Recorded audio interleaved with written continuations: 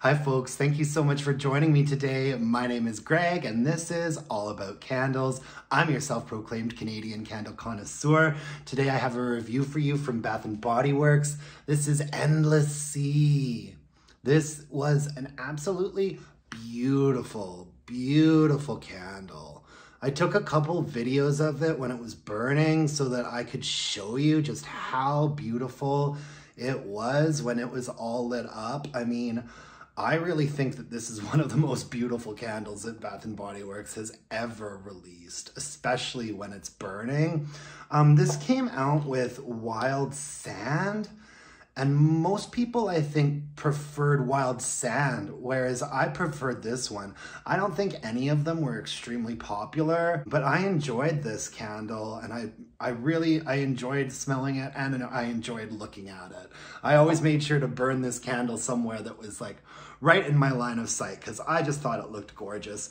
I might be a little bit biased here because I will pretty much buy any candle that has the word sea in it. I love aquatic, briny, ozony um, candles like that. Um, the scent notes on this one are fresh bergamot, saltwater, saltwater lily, and ocean driftwood.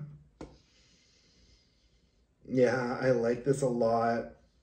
Um, it's, it's, it's not spectacular and special, and in fact, what I think is a really spectacular and special candle is You, Me, and the Sea. This is by far uh, the superior choice. I think I like this one a bit more because it also mixes a bit of floral, some orchid in there. Um, but this one came out first and it's a, it was a really nice burn. It was quite, it was quite pleasant. I wish it had been a little bit stronger. Um, the bergamot does give it something that's a little bit zesty and there's definitely a bit of an aquatic floral going on there with the saltwater lily, but it's not as pronounced as the floral that you get in You, Me, and the Sea, which I believe is orchid. Yeah, it's not as it's not as prominent. Ocean driftwood, I think they say that just to sort of signify a saltiness and a brininess. I don't get much of a woodsy driftwood component from this. Um, I wish it had been a little bit stronger. I think that if it had been a little bit stronger, I'd be ranting and raving about it more. I'd say that the strongest that this got was about a six you know, and my sweet spot for candles is really like a seven or an eight. Uh, so this just kind of missed the mark for me in terms of that. Although it wasn't the strongest or most cap captivating fragrance, I enjoyed it and I liked having it around. I mean, it just looked it just looked so nice when it was burning.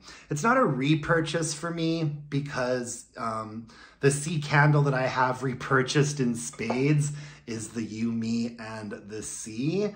Um, I don't think that we'll see this one again, but I thought I'd review it for posterity. Maybe some of them will come out on the shelves during semi-annual sale.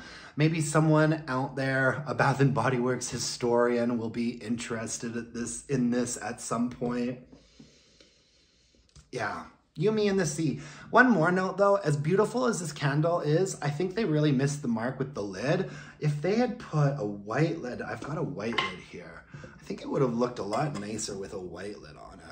There you go. Just throwing my two cents in. Anyways, thank you so much for joining me today. If you could uh, leave me a like, a comment, a subscription, tell your friends, tell your mom, tell your loved one, that would mean the world to me. And until next time, let's burn some candles and bitch about it. Thanks, folks. Bye-bye.